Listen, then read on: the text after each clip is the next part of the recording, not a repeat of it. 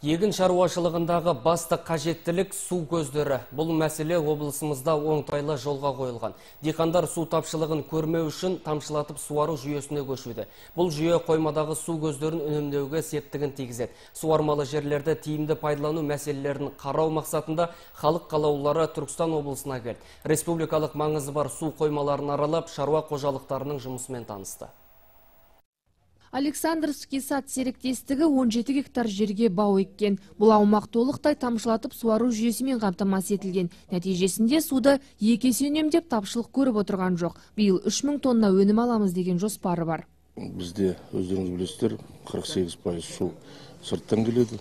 Сол себептен болашақта ең үлкен бір мәселенің бірі ол мынау сумен қамтамасыз ету. Сол үшін бүгін біз бүгін бір саясаттың бірі ол осы диқаншыларды суды үнемдеуге талпындыру. Түркістан облысының тағы бір ерекшелігі суару жүйесінде жер асты сулары да жеткілікті. Мұны тиімді пайдалана білу жыл сайынғы бау бақша өнімінің артуына себеп болады. Көшпелі отырыста депутаттар тілге тиек еткен тағы бір мәселе осы болды.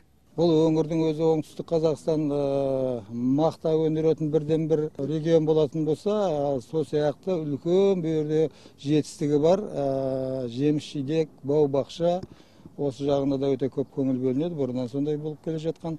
Қазір енді мына жаңа технологияларды пайдаланып жаңа сорттарды егіп жатыр көксарай су реттегіші осы аймақтағы шаруашылықтардың суға деген қажеттілігін толықтай өтеп отыр. Көксарайда бүгінде қажетті су көлемі жиналған. Бұл жерде су бойынша ешқандай мәселе жоқ. Су реттегіш жұмысымен танысқан депутаттар енді суармалы жерді ұлғайту жобаларын көбейтуді көздейді. Жерді тиімді пайдалану бағытында бірнеше жобаларды қарастырды. Насосный станциясыз ақ істеуге болар еді. Сол дамбадан егер сол кезде отводящий қойғанда шандорларды қойған кезде.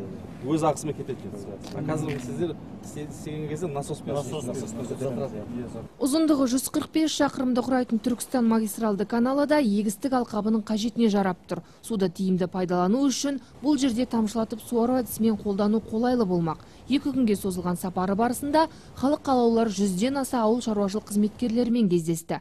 Тауар өндірушілері қатысуымен түйткілді мәселелер жөнінде әңгіме өрбітетін болады. Ордабасы және арыс аудандарынан динар нақыпбек абай құралбаев гүлмаржан молдадос тұран ньюс.